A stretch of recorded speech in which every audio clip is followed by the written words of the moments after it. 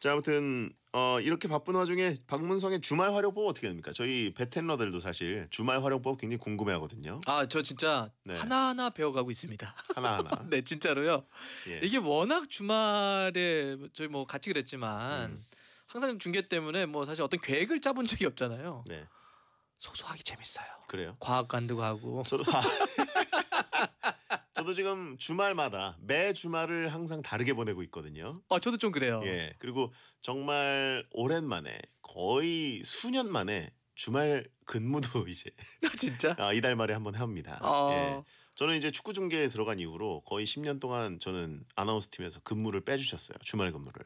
방송을 하니까, 굉장히 중계를 특혜죠. 하니까. 예, 음. 주말 중계만 해라. 그랬는데 아, 오랜만에 주말 근무를 신입대로 돌아간 느낌 느껴볼 수 있을 것 같고. 중계권이 우리에게 그런 영향을 미쳤군요. 여러 가지 나비 효과가 있어요. 저는 얼마 전에 동해 바다에 주말에 가서 커피 마시고 왔어요. 그냥 커피만. 아 강릉? 네, 그쪽 아 가서 좋죠 거기. 진짜 그냥 그래 커피만. 마시고 아, 왔어요. 저 다음 주쯤 한번 생각 중이었습니다.